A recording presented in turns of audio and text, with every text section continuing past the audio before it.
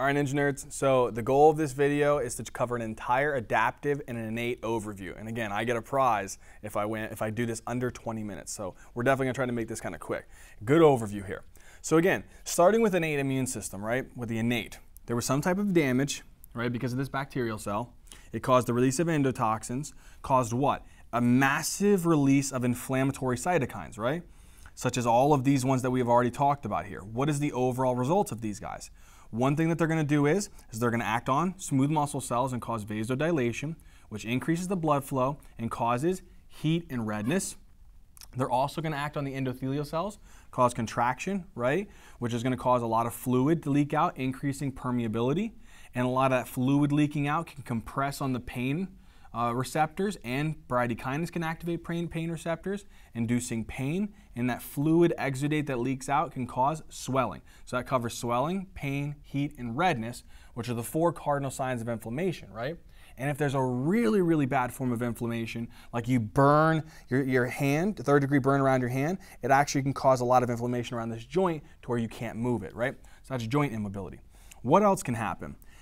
These histamines and all these other chemicals, they can also cause the production of certain types of cell adhesion molecules. And we've already talked about these in great detail. There's no need to go over them again. These things could be like P-selectins, E-selectins, ICAMs, and VCAMs. And what is their whole purpose? To enhance the margination response. In other words, clinging to the edge of the capillary bed and rolling on the surface, right? Then as it rolls, it can move through the actual endothelial cells by diapedesis, which is that amoeboid motion, and then what? It can actually migrate to the site of injury where all these bacteria molecules are due to these inflammatory chemicals, and it's going to move towards that area by positive chemotaxis, right? So that's the overall result there. What else can happen though?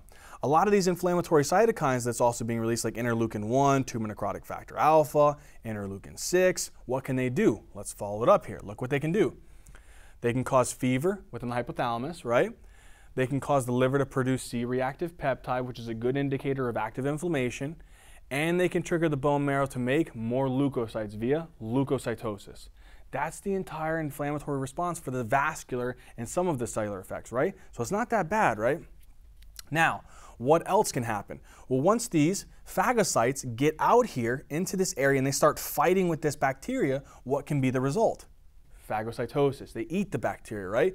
So they take the bacteria in through their pseudopods, which is called phagocytosis. And remember, they form the phagosome, combine with the lysosome, form the phagolysosome, break them down through the lysosomal action. But neutrophils sometimes depend upon how intense the bacteria or foreign uh, microbe may be. It might have to do free radical reactions called oxidative burst or release its chromatin out into the extracellular space to tag bacterial molecules for destruction from, from like, for example, cathepsin G.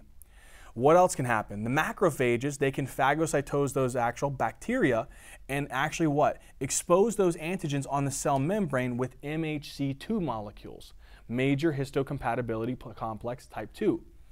But remember, all nucleated cells, all nucleated cells in your entire body express what's called MHC, one molecules. So that's important, and we'll talk about that when we get to adaptive. All right, so that's one mechanism there. What else can happen? remember, you also have complement proteins. Your liver is constantly making these complement proteins, and they're circulating within our plasma in the inactive form. And whenever they're in the inactive form, what can happen? Whenever they actually active, they become activated due to certain types of chemotaxis or due to the increased permeability, or due to the FC portion of antibodies, so on and so forth, what happens? You activate these proteins and they undergo specific cascades, like the classical pathway, which is antibody mediated, right? So it has to be antibody mediated and it starts with C1 and it goes all the way to C9, producing C3 and C5a, which enhance inflammation. Alternative is not antibody mediated, it's directly binding C3b with the foreign pathogen. And that causes that whole process again, right? And then lectin, you just need a mannose and a lectin binding mannose to trigger this entire cascade. What's the overall effect of these, these pathways right here? To produce the membrane attack complex to initiate lysis of the bacteria, or to enhance opsonization by the C3b, or to enhance the inflammatory response to C3a and C5a. So that's the complement system. Still in the innate. Now, what else? We also said what if we have these cells here, our macrophages or our general tissue cells, what if they're infected by a virus? So they're infected by some type of viral molecules, right? If they're infected by the virus, so this, these cells are infected by a virus, what can happen? They can activate genes to produce specific types of molecules called interferons, like alpha, beta, and gamma. What do alpha and beta do? They activate what? They come over here to a nearby healthy cell and tell those nearby healthy cells to produce antiviral peptides. For example, protein kinase R. What does that do? It actually destroys the actual virus or prevents the virus from attaching, right? And prevents this virus from causing damage in these tissue cells. What does gamma interferons do? Well, the only one who really secretes gamma interferons, because we have them over here, remember? Alpha and beta interferons are produced by tons of cells, a lot of different cells. Beta interferons are usually specific to making platelets, though. They're, made by platelets, right? Gamma interferons are made by specific types of cells like your natural killer cells, your lymphocytes, your macrophages. What do those gamma interferons do? We already showed it over here, right? These gamma interferons, they're secreted by macrophages or natural killer cells or lymphocytes. They come over, activate other macrophages, and then do what? Cause these macrophages to proliferate, get bigger, get hungrier, and increase the expression of class 1 and class 2 molecules, all designed to enhance the inflammatory response, right? Then, what else? Alpha and beta, they can also cause the activation of natural killer cells who can come in and start killing some of these virus infected cells. So it's a beautiful thing, right? And that is a part of our innate immune system still. Now, last thing for our innate immune system, we have these toll-like receptors. And these toll-like receptors, we have 11 different types, right? So many different types. But there's 10 that we're only talked about here because we don't know the function of toll-like receptor 10. What is the overall result of all these? Because they're all responding to different types of pathogens. The overall result is the production of specific types of signaling proteins for chemotaxis, right? Or the production of interferons like alpha, beta, and gamma interferons, and the production of tumor necrotic factor alpha, interleukin 1 beta, and interleukin 18. And remember, these guys have to be acted on by caspases to become in their active form because they're in their, their pre-form right now, or their pro form. What do all these guys do? They enhance the inflammatory response, enhance chemotaxis, and try to be able to eliminate the foreign pathogens from the body, right? That's the desire. Now, then we go into the adaptive immunity. What was the adaptive effect? You remember we took these macrophages with the MHC2 molecules and we also took these free antigens and we take them into a lymph node. What was the effect here? So again, what do we do? We take this macrophage and we take these free antigens and we bring them inside of the lymph node, right? Because we already went through the phagocytosis process and we know that the neutrophils exocytose what? Those free antigens. The macrophages are good antigen presenting cells, those as well as lymphocytes and uh, specifically antigen, I'm sorry, uh, dendritic cells. They come in and what happens? Let's say we follow the free antigens first. The free antigens are the exogenous antigens bind onto a naive B lymphocyte, activating that B lymphocyte, right? That B lymphocyte then can bring in the receptor mediated endocytosis bring that antigen in and produce MHC2 molecules against it, right? And expose it on the membrane surface. But that activated lymphocyte, which also has all these BCR receptors specific to that antigen, he can't get stimulated to proliferate yet. Why? Because he needs some type of stimulation from other cells. So what's those other cells? Remember the macrophage? The macrophage is going to be coming over here. It's having its MHC2 and the foreign antigen. It brings it to a naive T cell, T helper cell, right? That T helper cell will have CD4 positive proteins. It will have a TCR or a T cell receptor specific to that foreign antigen, which will interact. When they interact, it activates a CD3 molecule, which sends this primary signal into the nucleus. There will also be key co-stimulation signals between B7 and CD28, and then there will also be the secretion of interleukin 1. What does this do?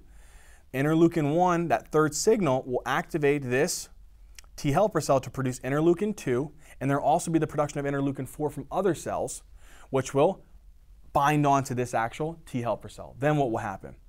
Whenever this interleukin 4 and interleukin 2 bind, it triggers the T naive cell to start proliferating and becoming specialized and differentiating into what's called Th2 lymphocytes. Because remember, interleukin 4 converts the naive T cell into Th2, Interleukin 12 converts the naive T cell into Th1 or T helper 1 cells.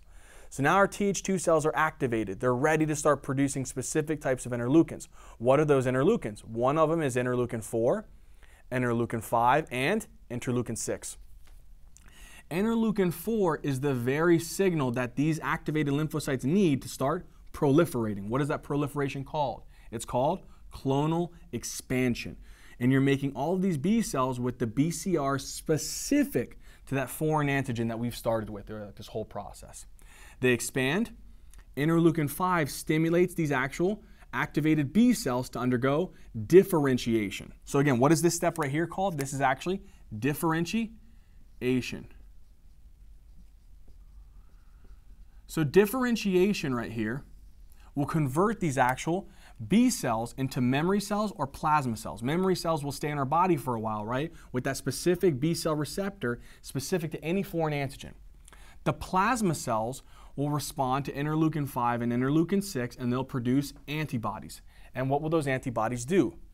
These antibodies can either do a couple different things, right? We talked about it very briefly. They can bind with these foreign antigens and cause neutralization reactions, precipitation reactions, lysis, and we also said agglutination reactions too, right? So there's a lot of different things, and opsonization. We'll go into more detail on those in antibodies, right? All right, so again, they can undergo the opsonization reactions, right? Now, that whole thing that we talked about is humoral immunity. What is humoral immunity? It's the effect, again, one more time, of those exogenous antigens stimulating these actual B cells or these T cells and the overall responses to produce antibodies in response to that, right? Or to produce memory B cells, and we can also produce memory T cells. I didn't talk about those enough, but again, these are effector T cells, but you also can make, as a response to this, whenever they proliferate, you also can make memory Th2 cells. And those memory Th2 cells will have a TCR specific to that foreign antigen. All right, whenever the MHC molecule comes back, MHC2 molecule and the foreign antigen on the macrophage comes to him again, he'll be ready for it. All right, that's humoral immunity. What is cell-mediated immunity? Cell-mediated immunity is due to the, it's going to be exerted by the cytotoxic T cells. And the cytotoxic T cells, they're going to act on cells that have already been virally infected, so they've been infected by a virus and there's no turning back, or they're cancerous. What's the overall result again? One is it can actually downregulate the class 1 molecules, or it can produce the ex uh, expression of a viral peptide that can bind with our own self peptide. And then what happens? Our T cytotoxic T cells recognize those either foreign peptides or they recognize the lack of class 1 molecules as there's not that many. And then what will they do? They'll produce perforins, which will create holes in the membrane, and granzymes, which initiates this apoptotic mechanism that we talked about, right? So that's killing the cell. Why is it cell mediated though? Because the actual infectious pathogen is already inside of the cell. It's not outside of the cell, it's inside of the cell and it's affected it inside of the cell, okay? That's the basic way, the basic way of understanding cell mediated immunity. We also talked about natural killer cells. But remember, just because I included them with the adaptive immune system, that doesn't mean they are a part of them. They are not a part of the adaptive immune system. They're a part of our innate immune system. They're not specific, but their mechanism is very similar to the cytotoxic T cells. How do they do this? What do they do? There's three mechanisms. One is they either recognize that there is no MHC1 molecules present, and if there's no class 1 molecules present, they perceive it as foreign because all nucleated cells have class 1 molecules. And then what? It'll produce perforins and granzymes and kill this cell. It'll also recognize an abnormal form of the MHC molecule, right? And again, we said the MHC molecules have alpha 1, alpha 2, alpha 3 chains, as well as a beta 2 microglobin. But Mica or Mica has no beta 2 uh, microglobin. So therefore, he's kind of like an MHC. If he's recognized by the nat natural killer cells, he'll actually release perforins and granzymes and kill him. And then again, if there's any type of foreign antigen with IgG antibodies bound, the natural killer cells release perforins and granzymes and kill him. Again, guys, this pretty much gives us everything we're going to need to know about the entire overview of what? The adaptive and the innate immune system. All right, Ninja Nerds.